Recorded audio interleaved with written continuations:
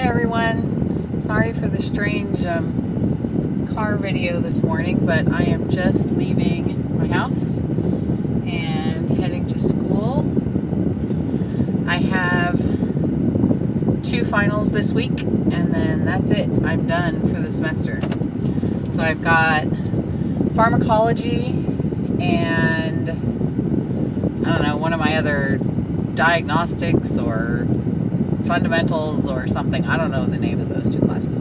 Um, so, stupid sun. So that's what I've got today, and um, I think that today is going to go fine. Pharmacology tomorrow is a little more iffy, but I think I'll do okay.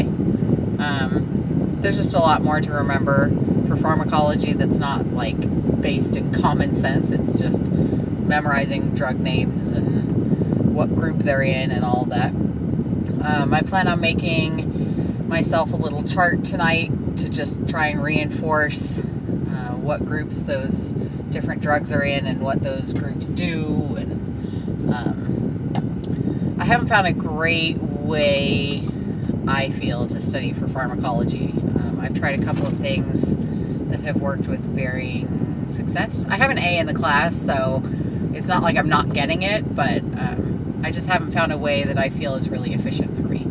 So again, sorry about the shaky video. I will do another one after my last final once I have all my grades and everything is done. Um, and that will not be in my car, that will be a normal one. But I just wanted to say um, to anyone who is also finishing up their first semester, I hope you've had a really great semester. I hope you've done well.